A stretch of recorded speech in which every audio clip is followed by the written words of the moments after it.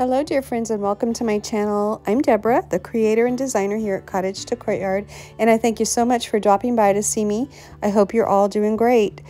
I have a lot to cover in our video today, so if you don't mind, let's just jump in and get right to it. Okay, first on the agenda is the large mirror above my buffet that you're seeing there on the wall, which we purchased last year at an estate sale for a fabulous price of $87.50. And at that time, I decided that I'd like to keep it as it is in the original finish and not paint it. And I know many of you are going to gasp but I'm going to go ahead and paint it. I've enjoyed it in its original finish, but now I'm I'm really ready for a change. So I've kind of been toying with different finishes and paints, and I'll show you some of them. Actually, there's four that I really like for different reasons, and you can let me know which one you think looks best, okay? Just leave me a comment below. I'd love to hear your thoughts. Here is finish number one. The color is really similar to my buffet, which happens to be duck egg blue. So I would just paint the mirror in the duck egg blue and accent it with gold, off-white, and maybe a little antiquing wax to mimic, the, mimic this look. Number two that you're seeing here is very soft and pretty in shades of white, off-white, and gold with a little antiquing wax. I just really like this softened look. Sometimes it's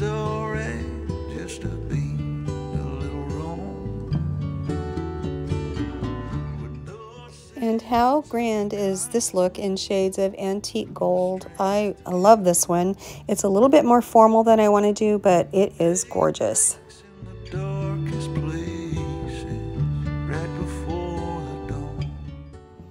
Okay guys, this next one coming up is probably going to shock you a little bit in style number four.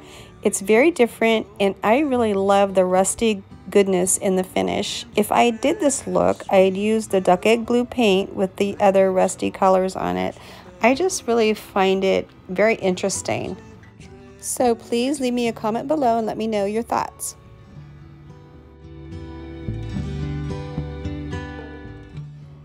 Okay friends, now I'm going to show you this beautiful $15 thrifted treasure from Goodwill that I purchased a couple of months back. I absolutely love it and I know you guys have probably seen this very same painting or print around in antique stores, etc. I loved it, but not that frame. And so I removed the frame from the art and then donated it back. And here it is without the frame it is actually 23 inches by 36 inches, so it's a really good size. And I'll be on the hunt for a more ornate frame for it, but in the meantime, I really don't mind using it without a frame. It's just so gorgeous and romantic, isn't it? So since we're in winter mode right now and the weather can be a little dismal, we could all use some cherry nut from time to time. So I thought I'd sort of use this painting as my inspiration for putting together a romantic pre-Valentine's Day look.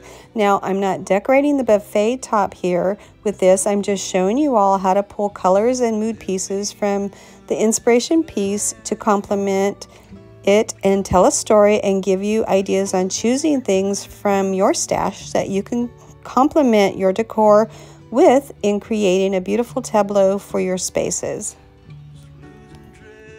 You know, you guys, this is really easy to do. First, you just need to look to the painting or art piece for your color cues and what you'd like to bring out. Adding shades of blue, pinks, golds, and a rustic touch with the ivy pot, the birds, the books, etc and romantic things like beautiful candlesticks, a teapot, some dried roses, and an old lace napkin with a transferware cup and saucer. Things that bring comfort and beauty. If these things don't brighten one's day and chase away the blahs, I don't know what will.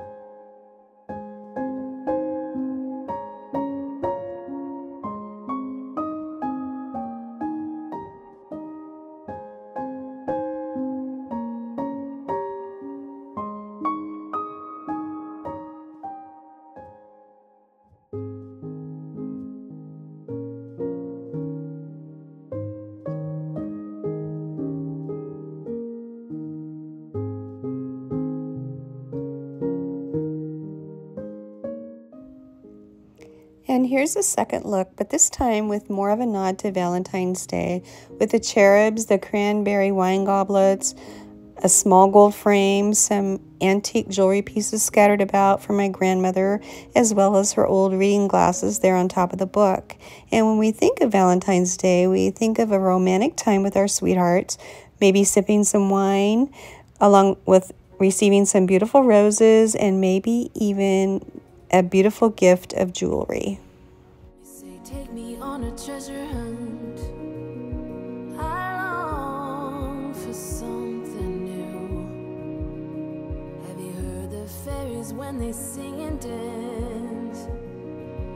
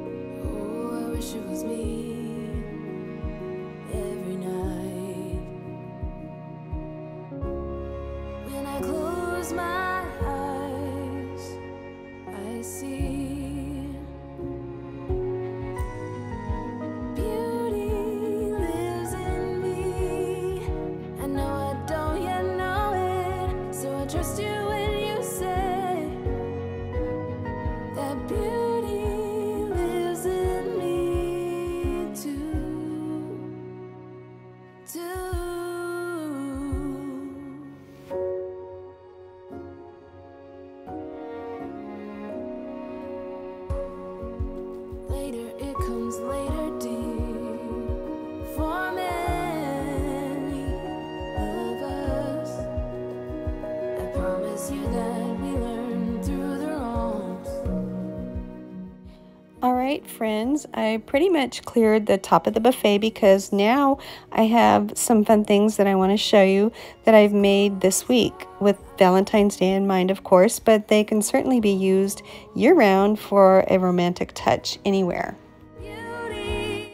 First is this sweet Vintage at Heart lumbar pillow that I've done in soft pink and cream toile with bits of antique lace, bows, beads, and ruffles. It's available if you're interested. You can just leave me a comment below and we'll go from there.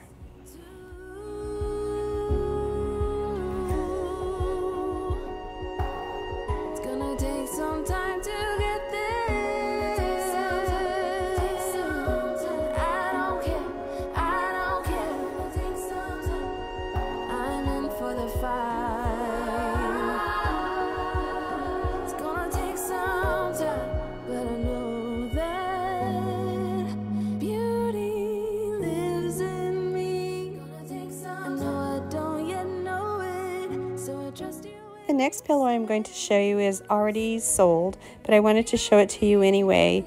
This gorgeous Be Still My Heart pillow that I did is in red and cream toile with bits of antique lace, bows, and beads. And this video just doesn't do it justice. There's so much detail, and with those exaggerated bows there on each side, it's just too cute. It's very neutral, really, and the soft red is just enough color to make it interesting and very romantic.